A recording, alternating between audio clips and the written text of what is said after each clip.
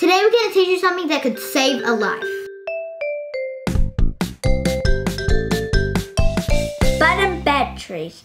Super useful, but super dangerous for little children. They look shiny and fun, but if a kid swallows them, it'll do some real damage. How much damage? That's what we're about to find out.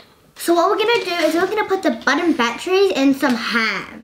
And what will happen is the moisture on your throat can turn the battery on and actually start burning the inside of your throat. We're gonna be timing it for quite a long, for quite a while to see um, what it does to the ham. You can find these in anything electric. Not true.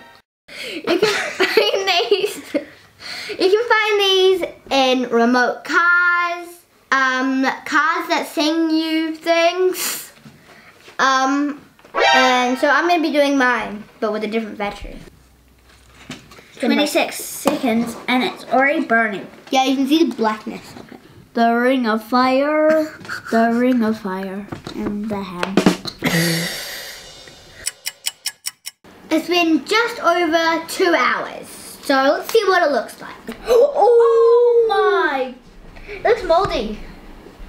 Gilly gosh. This is Ava's whole place that the um, ring was in, and you can actually see the design of the um, battery just melted into the ham. That's what a battery does. What do you do if you think your child swallowed a button battery?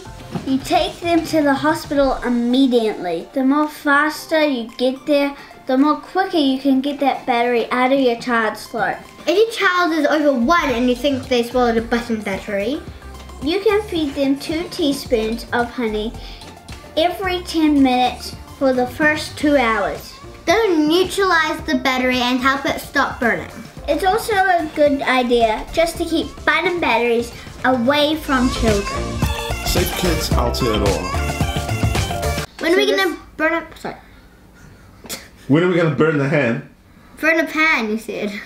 The Burn pan. the Yeah, you ham. said burn a, burn a pan before. He said bur- he said burn the ham. Oh.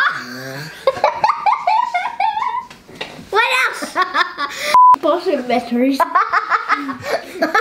think it burnt your butt. Just went pop. oh, my butt exploded. Pop.